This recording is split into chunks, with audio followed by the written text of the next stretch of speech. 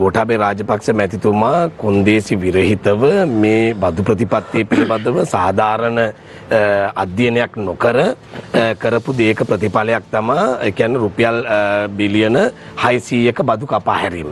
ඒ කපා හැරීම හරහා මේ රටේ ඇත්තටම 114ක විතර තිබුණු දලදේශීය නිෂ්පාදනයට අනුපාතිකව බදු ආදායම 8.6ට වගේ අඩු වුණා.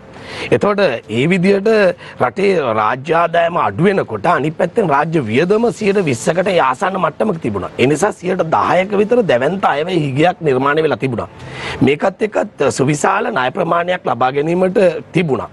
ඉතින් මේකෙදී අර කියනවා වගේ දැන් මේ බදු ආදායම ඉහළ දමා ගැනීම කියන කාරණාව අයකර ගැනීම පිළිබඳව බදු අයකර ගන්නකොට බදු සිද්ධාන්ත තිබෙනවා. ඒ කියන්නේ බදු අයකර ගන්නකොට බදු පිළිබඳ සිද්ධාන්ත තිබෙනවා. ඒ සිද්ධාන්ත දැන් ඔබ IMF එකේ කන්ඩිෂන් මත ක්‍රියාත්මක නේව නෙමෙයිද එතකොට?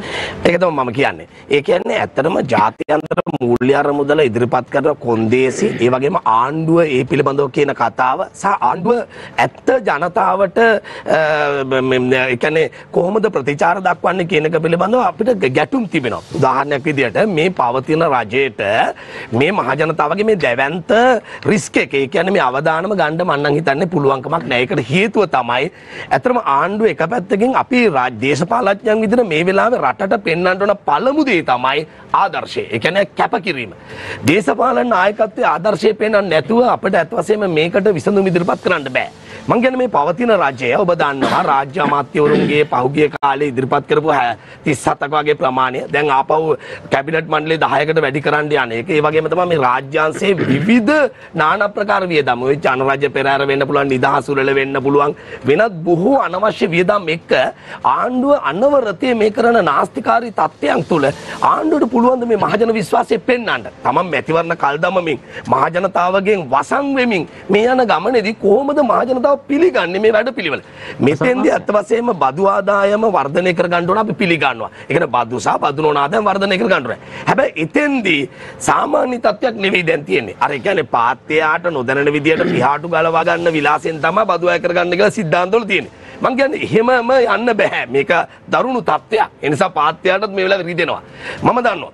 නමුත් හැබැයි මෙතන වෙලා තියෙන්නේ ඇත්තටම වෙලා තියෙන්නේ මදුෂාන් මේ අය කරන බදු ඇත්තටම බෙල්ල මිරිකලා ගන්න බදු තත්ත්වයට පත් වෙලා තිබුණා. ඒ කියන්නේ වෘත්තිකයන්ගෙන් රුපියල් ලක්ෂයට වැඩි අයගෙන් මේ අය කරන බද්දත් එක්ක වෘත්තිකයට සමහර වෙලාවට රුපියල් 25000 30000 අය වෙන තත්ත්වයන් තිබෙනවා. ඒ කියන්නේ ඔහුට සමහර වෙලාවට අතේ ඉතුරු වෙන්නේ නැහැ. Tamanට ජීවත් වෙන්න පුළුවන් ආදායමක් ඉතුරු වෙන්නේ නැහැ. ඉතින්දි වෘත්තිකයා විශේෂයෙන්ම හිතන්න බලන්න රටට සංවේදී වෘත්තිකයෝ විශාල ප්‍රමාණයක් ඉන්නවා.